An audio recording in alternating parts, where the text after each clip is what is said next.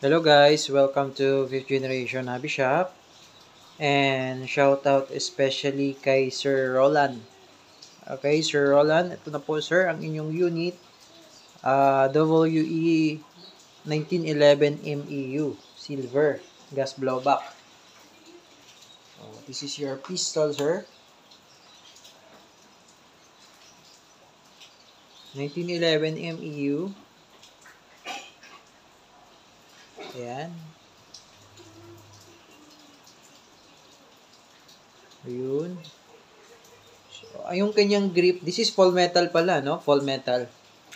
The magazine is also metal. Yung kanyang slide, metal. Yung kanyang, yung kanyang frame, metal.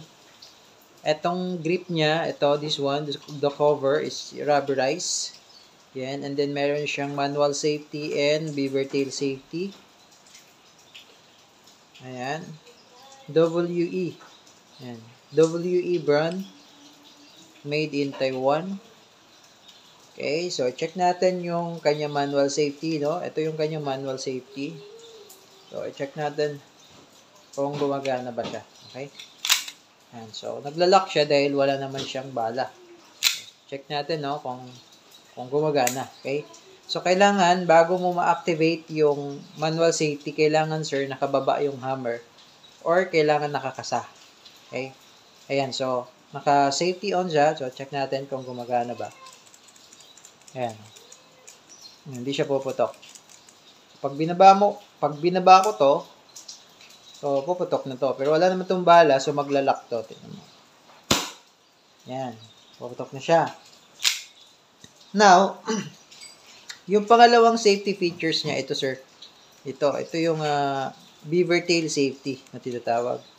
Ito yung grip safety na tinatawag.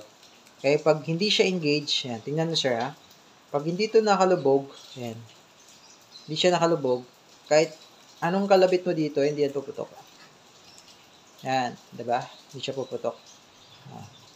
Ngayon, pag nakalubog yan, then, kalabitin ko, Pumutok siya, di ba? Kasi, part of safety features kasi ang beaver tail. So, automatic yan pag ginawakan mo yan. Eh. Sa lahat ng 1911, meron pong beaver tail safety yan. Okay? So, ayun, working yung dalawa, beaver tail and the manual safety. So, ayan, yung inyong 1911 MEU. Ganda nyo. 1911 MEU. Wow. Okay? Yan o. 45 ECP. Pero, disclaimer lang po, this is just an airsoft, ano? So, i-save muna natin. Okay, and now, yung inyong additional, sir, na silicone oil, additional order ni Sir uh, Roland, additional po ito. Hindi po ito kasama sa package. Ito po ay additional. Okay, additional order ni Sir. At yung additional nyo po na green gas, additional order. Ito naman yung free. Ito yung free. At ito naman yung BBs na free din. Okay?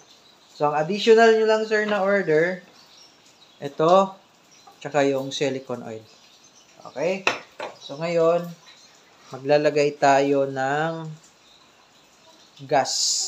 Okay. Lagyan natin ng gas.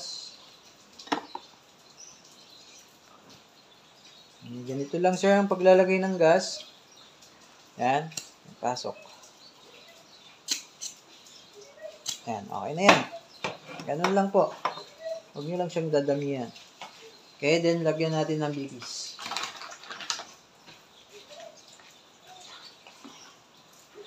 Paglalagay naman ng bibis, dito lang. Ayan.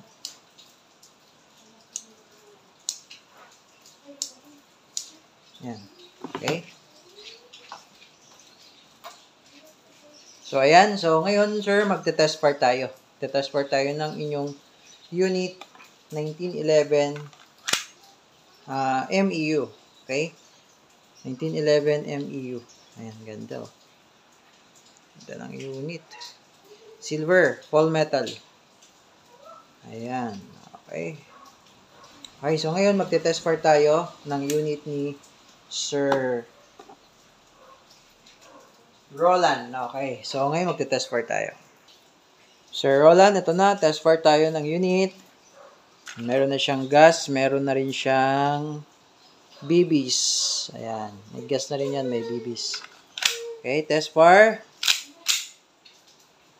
Ready to fire.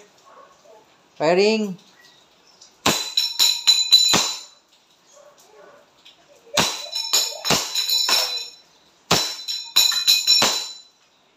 Okay, nag-open slide, ibig sabihin wala ng bala. Just release the magazine. And then, press down the slide stop slide release. Ito po, pababa. And, and then hammer down. Okay, Sir Roland, okay na po yung unit nyo. Ayan. If you have more question, message lamang sa aming page, 5th Generation Navi Shop. Thank you, sir, and have a nice day.